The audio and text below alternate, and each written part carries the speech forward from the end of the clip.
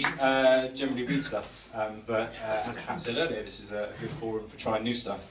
Um, I started writing this a while ago, and I finished it this afternoon, um, and, thought, and, thought, I'd bring it in. So um, here it goes. It's called the Overview Effect. Is it always so perpetual? Do our desires for contentment remain only conceptual, or does contempt prevail?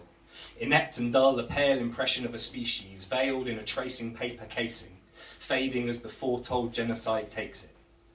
Our promise turns to animosity. We want instantaneous velocity, but simply put, that's just position over time. An equation, one seemingly stuck in the dreaming to which we do ourselves confine. But this earth moves through space and time, illuminated by the shine of speckled matter in the sky.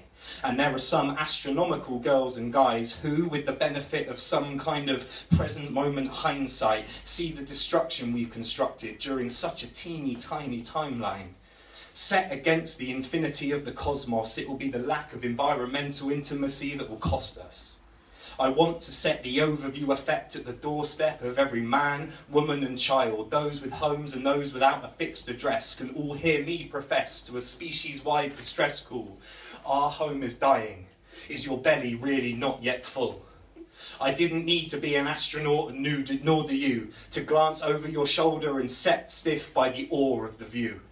Gape gratefully at the landscape from our entire earth and map it. Study the thin ribbon that allows us to form habits, that gives us time to walk and see glistening green lagoons and actual, real, breathing trees. That gives, uh, if it wasn't, if I wasn't such a faithophobe, on the ground I'd set one knee and then a second, pray to every god in the maze of man's constructed heavens, even though I'm sure my calls to cause would not really ever get to them. But that is all inconsequential, as incidentally the consequences of our actions are only evident on our minuscule fraction of matter in the multiverse, our Earth.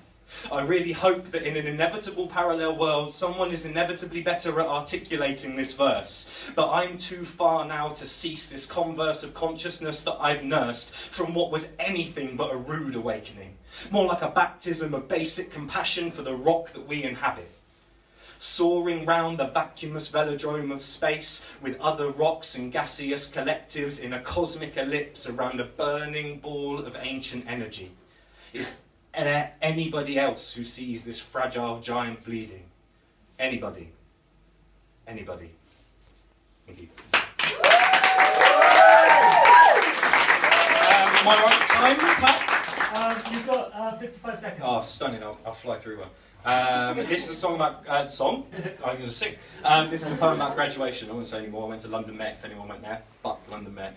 Um, this, this, is uh, this is called the farce of forced education. I'm going to have to do it quickly.